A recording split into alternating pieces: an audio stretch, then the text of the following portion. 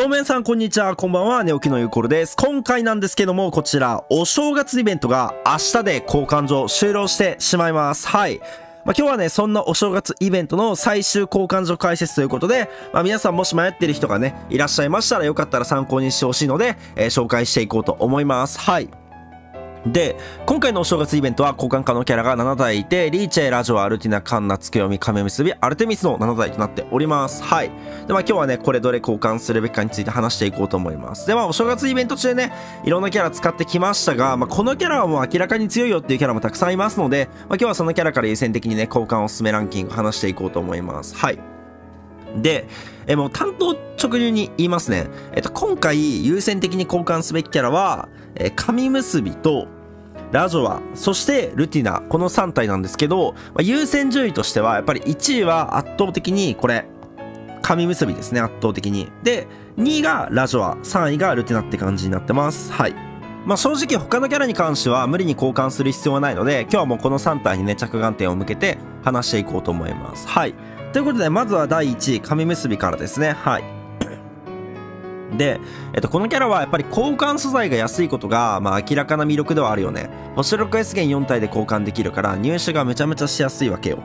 まあ他のね、ラジオとかアルティナとかに関しては、こんな感じで星7フェス元を使うので結構コストが高いんだけど、神結びは星 6S 元だから比較的交換がしやすいようになってます。はい。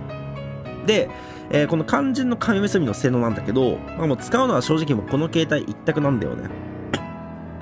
で、この火の神結びがバインドスキブ封印回復トルキを4つ超つなげし2つに比列2つ持っていて超惑星がまあお邪魔毒7強枝豆スキブプラス持ってます。でこいつの強い点としては、まあ、スキブ4つ持ちにもできるし7強超つなげし超つなげしにもできるしあとは枝豆つけて枝豆生成要因としても使えたりするところ。でスキルはロック解除に水を回復に変化消せない覚醒無効全回復が5ターンで打てます。5ターンで。これ5ターンはめっちゃ強い。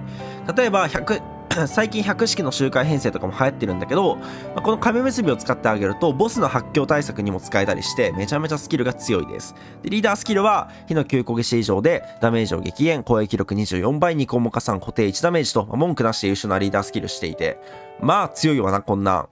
で、まあ、使い道としてはもちろんもう芝だら周回編成一択ね。完全に芝だらでしか使わないんだけど、まあ、現状の周回においてやっぱり芝だらが最強クラスっていうところと、まさに最近実装されたジョナサン・ジョースターとかの影響で、亀結びの評価もどんどん上がっていってるわけですね。そう。まさにこの亀結びとジョナサン・ジョースターを合わせた編成とかも流行ってますし、あとはなんならジョナサン・ジョースターのサブに軽く分けて亀結び入れたりとかも流行ってますので、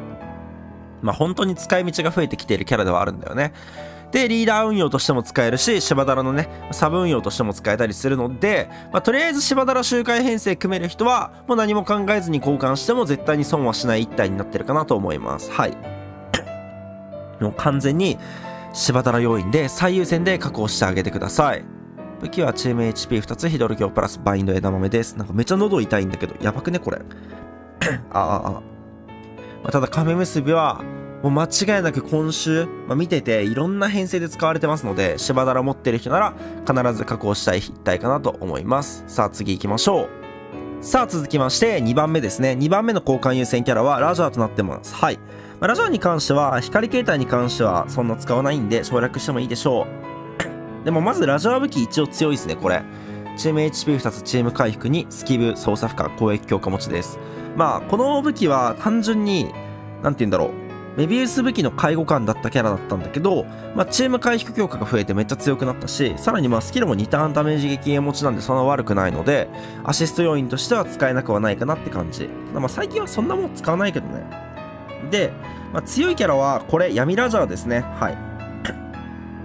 で、スキブ封印に無効貫6個あって、超惑星無効貫通持ってます。今のパズザラで最も火力の出るキャラがこの闇ラジャーなんで、無効貫通枠としては最強クラスの火力を持ってます。スキルもルーレット1個生成に闇6個生成が2ターンスキルとなっていて、まあ、リダフレラジャーとかにしてあげると、まあ、闇生成しながらルーレット生成しながら殴っていけるから強いと。でリーダースキルは闇9個消し1個につき攻撃が5倍2コンボ加算固定300万ダメージ悪魔の HP と攻撃4倍となっておりますはいでまあこれがねうんとまあ、ラジオって別にこれ悪魔タイプ HP4 倍しかないから、リーダースキル要因でめっちゃ強いわけではないんだけど、まあ、強い点としてはやっぱりまあ無効貫通7個持ちにできて火力が出しやすいところ、超重力環境においても火力が出しやすいところと、あとはやっぱりチャコールとかセリカとかと相性がめっちゃいいところなんだよね。で、さらにはこのラジオの強いところって耐久力ももちろんなんだけど、まあ、セリカチャコールループね、もう言うまでもなく強いんだけど、これにプラスで火力出しやすいんだよね。闇ラジャー自体が無効感7個持ちなのはもちろんなんだけど、ラジャーのリーダースキルのおかげで、攻撃力5倍が闇9個消し1個につき入るんですよ。まあ、つまり、闇の9個消し2セット組むと100倍入るんですね。100倍。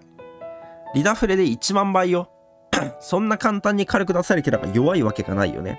そう。だからやっぱり火力の出しやすさ的にもすごく使いやすくて、まあ、6号盤面でももちろん優秀だし、76にしてあげるともっと火力も出せて、まあ、超重力だろうと無条件で火力枠で活躍してくれるキャラになります。はい。なのでやっぱり火力要因でも活躍できるところ、かつ耐久できるところが強くて、まあ、特にチャコルとか闇セリカとかを確保してる人に関しては、まあ、ラジオは一体取っておけると、まあ、これからの高難易度ダンジョンでも使える可能性は十分にあるのかなと思います。はい。ほんと最近強くなってきてるんでリーダーキャラであって、まあもちろん必須級キャラ、必須級キャラではないんだけど、まあ、やっぱり間違いなく強いリーダーではある。僕も最強リーダーランキング4位ぐらいにしたと思うんだけど、ほんと現環境にもうマジで特化した性能で、カイドウとかディオとかああいうキャラが対策されない限りは、基本的にラジャーも無条件で使えるキャラに入るかなと思います。すごく優秀なキャラなので、ぜひよかったら確保してあげてください。ということで、2番目に優先すべきはラジャーでした。ラストいきましょう。で、ここまでの2体はもう結構ね、確保しておかないともったいないよぐらいの感じで、まあまあ言うなら紙結びや芝だら周回編成組めるんだったらもう絶対取っておきたいし、ラジャーに関してはチャコルセリカを持っていて、サブがある程度組める人だけは確保しておいてほしいっていう感じであって、で、ラスト、ラストは、ルテナですね。ルテナは優先度は別にそんな高くはない。あの、思ったより低めです。結構ね、ぶっ壊れかと思いきや、意外と意外とって感じの性能ではあるんですよ。ただ、じゃ何が強いかっていうと、えっとね、武器2種類ですね、圧倒的に強いです。えっと、まず、水ルティナ武器に関しては、スキブチーム HP7 強に4ターンチェーン持ってるんですよ。で、スキブ4ターンチェーンってこの時点で強いのね。そう。スキブ4ターンチェーンってほんと強くて、で、さらにそれにチーム HP7 強ついてくるから、火力を出せるところはめっちゃ強いです。で、ルティナちょっと僕がね、評価あんまりしてない理由が1個あって、まあ、単純に実装されてからまだ一度も使われてないんですよね、結局。そう。一度も使われてない。僕のチャンネルでは少なくとも。で、まあ、もちろんね、強い武器であることは間違いないんだけど、確かに言われてみれば、まあ、スキブチームは強いんだけど、残り見てみると、まあ、チーム HP7 強なんだよね。チーム HP7 強。そう。で、まあ別に7強って今の環境そんな火力出るわけでもないしね。まあもちろん強い武器ではあるんだけど、なんか人権必須級武器ってほどまではいかないのかなって感じです。まあ、言うなら、玄関君においてはもうこの武器ぐらいだったら、まあ普通の強武器ぐらいの扱いをしても、そんなに影響はないぐらいには、まあもういろいろ環境が変わってきてる感じはしますね。だからまあスキブ、遅延、HP 強化、7強があったとして、まあぼちぼちぐらいの武器な感じはあります。まあ、ただ間違いなく強い武器には入るので、持っておいて損はしないんだけど、まあ、今更確保するべきかと言われれば、結構難しいところに入ってくるかなと思います。僕は現状の使われ方を見てる限りは、まあもう正直無理に確保しなくてもいいんじゃないかなとは思ってしまいますね。はい。で、光ルテナは10強2つに 2way6 個持ちで、スキルが4ターン光闇目覚めにバインド覚醒無効全回復です。最近光闇属性の編成ほんと流行ってるので、そういう編成において使えるというところからして、まあ、一応編成組めるなら確保しても損しないかなって感じ。で武器はドラゴンタイプ追加 2way プラスバインド、光ドロ強プラス闇ドロ強プラスです。はい。これはね、ほんと強いですね、やっぱ。バインドに 2way プラスあって、光ドロ強プラス闇ドロ強プラス持ってるんで、火力もね、弱化ドロップ対策としても使えるし、スキルもバインド覚醒無効回復持ってるので、結構ルテナ武器はね、使える武器になってるかなと思います。まあ、特にこの光ルテナはかなり強いので、確保しておければ、まあ使い道あるかなって感じ。まあでもルティナに関しては正直、まあ、この、なんて言うんだろう、全武器強いんですよ。